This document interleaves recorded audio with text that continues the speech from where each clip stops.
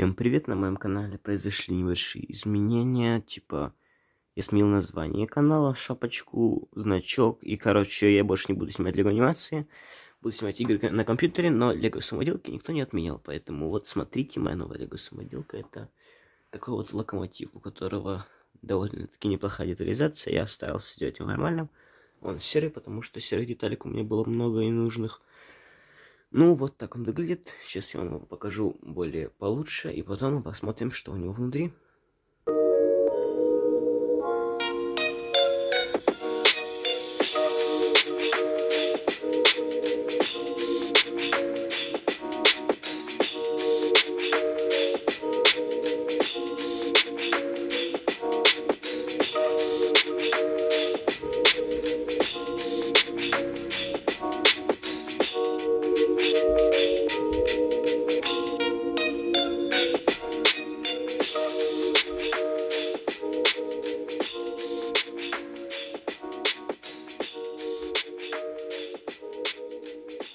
Так, во-первых, давайте заценим его снаружи. Во-первых, это у нас здесь есть перегородка и платформа, на которую могут заходить человечки. И дальше здесь есть другие перегородки.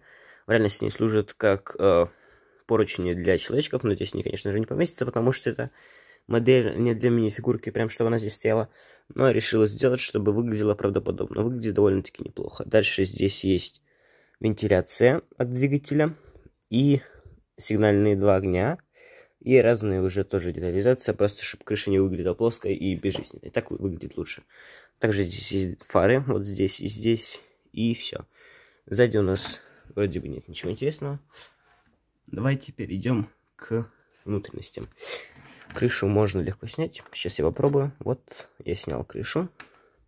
Это у нас первая крыша, это у нас сиденье машиниста. Здесь у нас есть сиденье пилота, вот здесь оно, разные приборы, которые помогают управлять поездом, и разные индикаторы скорости, запина, топлива и всего остального. Вот эта маленькая кабинка, сюда, в принципе, можно посадить мини-фигурку, она даже сюда поместится, но э, голова будет выпирать, и мы не сможем закрыть крышу, потому что крыша не выпуклая снизу, а плоская, поэтому да. Теперь давайте откроем отсек с двигателем. Я не знаю, как выглядит двигатель у поездов, но попытался что-то сделать, чтобы Просто не было пустое место и была хотя бы какая-то детализация. Сейчас я открою. Вот такой отсек я снял в не видео, потому что он отцепляется уже сложнее, потому что он держится на 14 пинах, вот этих вот. И здесь еще 4. Э, по... Не, это не, это не 14 получается, получается 10. Э, так, и здесь получается... Вот здесь есть двигатель, потом от него идет турбина или вал, который вращает мотор. Идет вот сюда в такой коробок, и потом оно уже все идет колеса. Вот здесь колеса у нас есть. Снизу вот. И оно все идет сюда. Вот здесь топливный бак, еще какие-то радиаторы и какая-то лампочка, которая, не знаю, должна гореть, типа, если двигатель работает. Здесь тоже есть вот тут, вот в этом месте небольшая детализация. Эту крышу не надо снимать, ну, потому что там ничего нет.